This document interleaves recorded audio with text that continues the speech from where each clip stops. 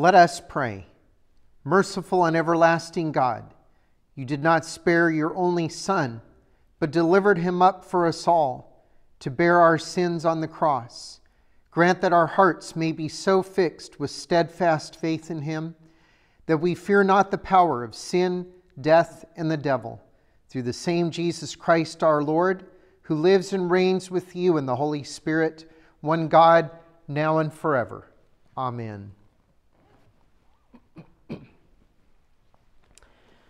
The Passion of our Lord according to St. Luke, the 22nd and 23rd chapters. Now the feast of unleavened bread drew near, which is called the Passover, and the chief priests and the scribes were seeking how to put Jesus to death, for they feared the people.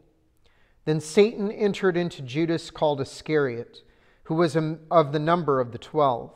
He went away and conferred with the chief priests and officers how he might betray him to them. And they were glad and agreed to give him money. So he consented and sought an opportunity to betray him to them in the absence of a crowd. Then came the day of unleavened bread, on which the Passover lamb had to be sacrificed. So Jesus sent Peter and John, saying, Go and prepare the Passover for us, that we may eat it. They said to him, where will you have us prepare it? He said to them, Behold, when you have entered the city, a man carrying a jar of water will meet you. Follow him into the house that he enters, and tell the master of the house, The teacher says to you, Where is the guest room where I may eat the Passover with my disciples? And he will show, show you a large upper room furnished. Prepare it there. And they went and found it just as he had told them and they prepared the Passover. And when the hour came, he reclined at table, and the apostles with him. And he said to them, I have earnestly desired to eat this Passover with you before I suffer. For I tell you, I will not eat it until it is fulfilled in the kingdom of God. And he took a cup, and when he had given thanks, he said, Take this and divide it among yourselves. For I tell you that from now on, I will not drink of the fruit of the vine until the kingdom of God comes. And he took bread, and when he had given thanks, he broke it and gave it to them, saying, This is my body, which is given for you. Do this in remembrance of me. And likewise the cup after they had eaten, saying, This cup that is poured out for you is the new covenant in my blood. But behold, the hand of him who betrays me is with me on the table. For the Son of Man goes as it has been determined. But woe to that man by whom he is betrayed. And they began to question one another which of them it could be who was going to do this.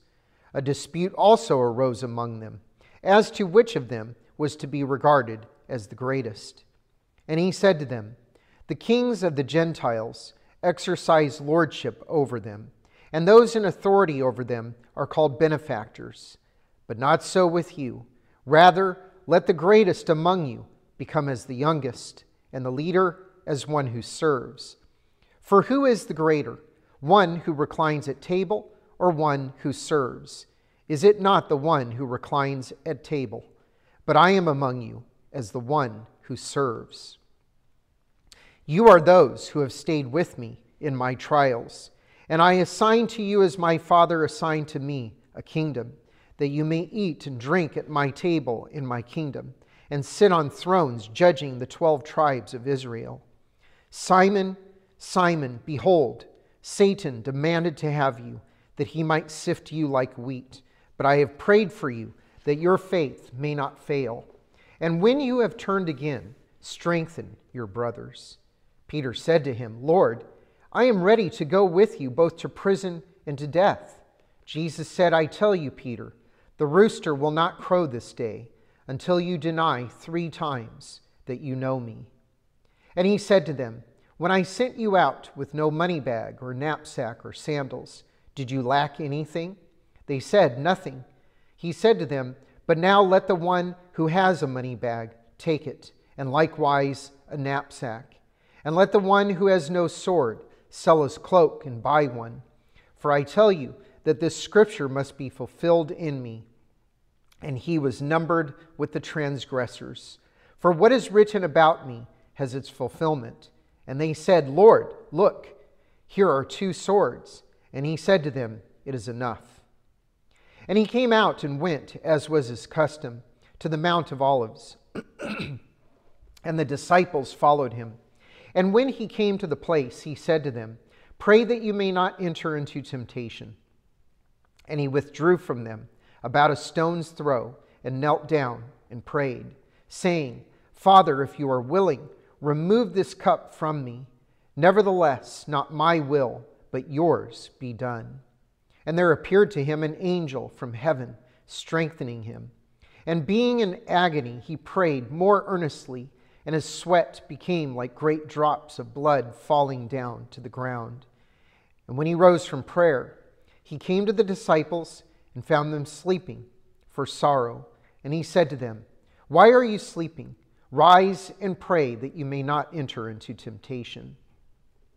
While he was still speaking, there came a crowd, and the man called Judas, one of the twelve, was leading them. He drew near to Jesus to kiss him.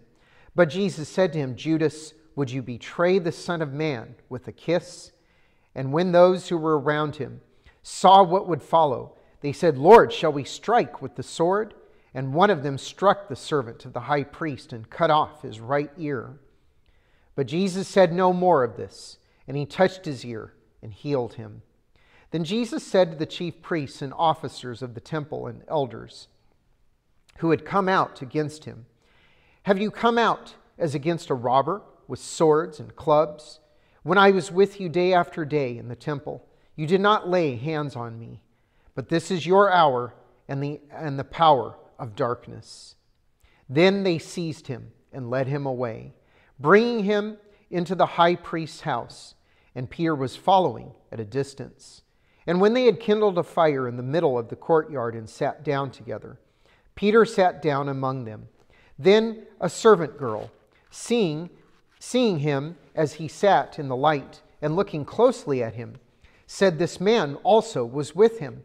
But he denied it, saying, Woman, I do not know him. And a little later, someone else saw him and said, You also are one of them. But Peter said, Man, I am not. And after an interval of about an hour, still another insisted saying, Certainly this man was also with him, for he too is a Galilean. But Peter said, Man, I do not know what you are talking about. And immediately, while he was still speaking, the rooster crowed. And the Lord turned and looked at Peter. And Peter remembered the saying of the Lord, how he had said to him, Before the rooster crows today, you will deny me three times. And he went out and wept bitterly. Now, the men who were holding Jesus in custody were mocking him as they beat him. They also blindfolded him and kept asking him, Prophesy, who is it that struck you? And they said many other things against him, blaspheming him. When day came, the assembly of the elders of the people gathered together, both chief priests and scribes, and they led him away to their council. And they said, If you are the Christ, tell us. But he said to them, If I tell you, you will not believe. And if I ask you, you will not answer. But from now on, the Son of Man shall be seated at the right hand of the power of God. So they all said, Are you the Son of God then? And he said to them, You say that I am. Then they said, What further testimony do we need? We have heard it ourselves from his own lips. then the whole company of them arose and brought him before Pilate and they began to accuse him, saying, We found this man misleading our nation and forbidding us to give tribute to Caesar, and saying that he himself is Christ, a king. And Pilate asked him, Are you the king of the Jews? And he answered him, You have said so. Then Pilate said to the chief priests and the crowds, I find no fault in this man. I find no guilt in this man.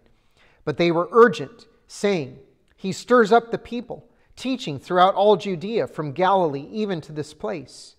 When Pilate heard this, he asked whether the man was a Galilean, And when he learned that he belonged to Herod's jurisdiction, he sent him over to Herod, who was himself in Jerusalem at that time. When Herod saw Jesus, he was very glad, for he had long desired to see him, because he had heard about him, and he was hoping to see some sign done by him. So he questioned him at some length, but he made no answer. The chief priests and the scribes stood by, vehemently accusing him. And Herod, with his soldiers, treated him with contempt and mocked him. Then, arraying him in splendid clothing, he sent him back to Pilate. And Herod and Pilate became friends with each other that very day, for before this they had been at enmity with each other. Pilate then called together the chief priests and the rulers and the people and said to them, You brought me this man as one who is misleading the people. And after examining him before you, behold, I did not find this man guilty of any of your charges against him. Neither did Herod, for he sent him back to us. Look, nothing deserving death has been done by him. I will therefore punish and release him. But they all cried out together, Away with this man, and release to us Barabbas, a man who had been thrown into prison for an insurrection and insurrection started in the city and for murder. Pilate addressed them once more, desiring to release Jesus, but they kept shouting, Crucify, crucify him. A third time he said to them, Why?